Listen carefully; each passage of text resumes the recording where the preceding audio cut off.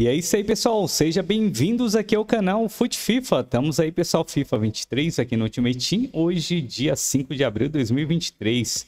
Tá aqui o time que a gente utilizou aí para fazer o desafio. Lembrando que você precisa pelo menos de três cartinhas da Conebol Libertadores, tá? Que é essas cartinhas aqui, por exemplo, tá? Conebol Libertadores. Tem que ter pelo menos três. Eu coloquei cinco aqui, né? Mas pode ser só três. Lembrando que você ia fazer gol também com esses jogadores, tá? Da Conebol Libertadores. Pode ser qualquer um, desde que seja Conebol Libertadores, tá, gente? Você consegue fazer o objetivo que eu vou mostrar para vocês até aqui, ó, no Squad Battles, tá? Pode fazer aqui a partir do Squad Battles, você vai entrar aqui.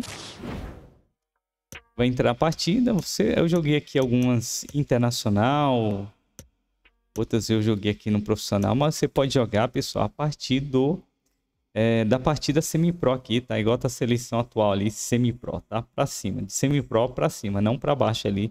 Amador não pode, iniciante também não. Tem que ser semi-pro para cumprir objetivos, tá?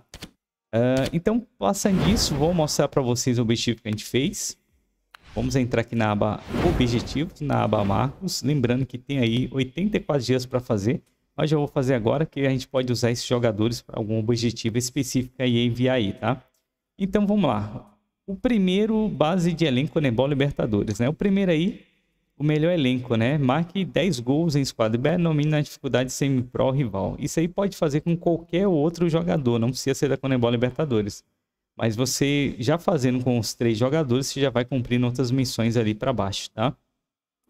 E aí você vai ganhar a cartinha aqui do Fernandes, tá? Vamos lá então pegar aqui a cartinha do Fernandes, depois que a gente fez os gols lá. Conebol Libertadores, Fernandes aí.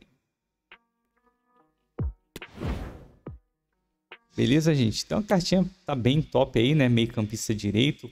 É, fim, ele tem 1,73, alta para ataque média para defesa.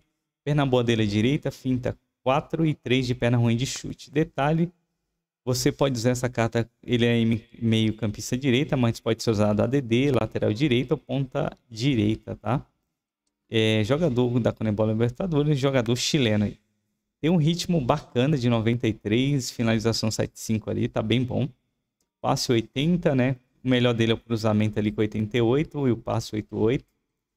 Condução 88 tá bem bom, agilidade 91, tá espetacular, equilíbrio 96, reação 80, controle de bola 85, condução 89 e a frieza 81. É, defesa ali 81, interceptação 78, nosso defesa 81, dividida em pé 88 e a carrinho 90. Físico 82 com impulsão bem boa mesmo, bacana, né, de 97. Fôlego 89 e força 81 e a combatividade 7.1. Característica não tem aqui, tá? Então, mais uma cartinha. E aí, quando tiver algum objetivo que peça jogadores da Conebol Libertadores, já temos aqui. O próximo é assistência fundamentais, né? De 15 assistências em squad B, no mínimo na dificuldade semi-pro. Também dá para fazer tem uma partida só ali, tá? Você jogando no, no semi-pro. Ele ganha um pacote ouro aqui, tá? Pacote ouro. Vamos lá, então. Pegamos aqui esse pacote ouro. O próximo, pessoal, você vai ganhar também um outro pacote ouro pequeno de jogadores, né? Precisa fazer o quê? Melhor em 8, né? Vença 8 partidas de Squad Battle, nomina dificuldade semi-pro, rival ou foot champion, né? Com 3 jogadores da Conebol Libertadores nos titulares. Eu deixei 5, mas pode ser a partir de 3 jogadores aí.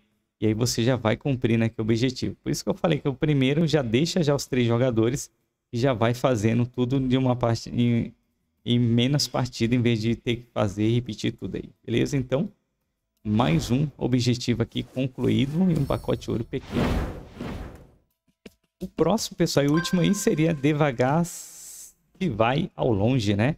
Marque um gol com o jogador da Conebol Libertadores em quatro partidas diferentes de Squad B, na dificuldade semi-pro. Pode fazer também no, no Rivals ou Foot Champion, tá? E aí ganha a carta do De La Cruz, tá? Libertadores e também você vai ganhar a carta do Rojo. Rojo. Base elenco aqui com Nebal, né? Então vamos lá pegar tudo isso aqui. Está feito. Mais um meio campista ali. Dá pra gente utilizar para fazer algum objetivo, né? Uma cartinha bem bacana ali, né? Tem ali, ó. Ele tem 1,67m, alta para ataque, alta também para defesa. Tem perna ruim de chute. É, a perna boa dele é a direita, né? Finta 4 e 4 também de perna ruim de chute. Detalhe, meio campista, pode usar como meio campo direito, meio. Ele é do River Plate. Futebol Libertadores, jogador uruguaio. Detalhe, ritmo 87, tá bom. Finalização 84 também bacana. Passo 85, tá bem bacana. Condução ali tá bom demais, hein? 90, agilidade 98, equilíbrio 94, condução 90 ali, reação 86, controle de bola 86, frieza 88, tá bom demais, hein? Defensivamente é mais ou menos, né? 79, físico ali 80, fôlego 99, combatividade 99, ou seja, perder a bola ele vai atrás e toma de volta. É bacana, hein? Bugadão esse jogador. Chute de longe, característica, né? Depador em velocidade e armador. Então, cartinha com pouco overall, mas bugada, né? Bem diferente das demais cartas. Agora o próximo, a gente vai pegar o zagueiro argentino aí, tá? Pessoal, sejam todos bem-vindos. Deixa aquele like para nos ajudar e até o próximo vídeo aí, tá? Então vamos pegar aí a base de elenco aí. Mais um jogador e concluído aqui, né? Mais um objetivo concluído. A gente concluiu aqui então a base de elenco, né? Concluída aí, completo aqui. Mais um jogador. É isso aí. Valeu, pessoal. Até o próximo vídeo. Tamo juntos. Valeu.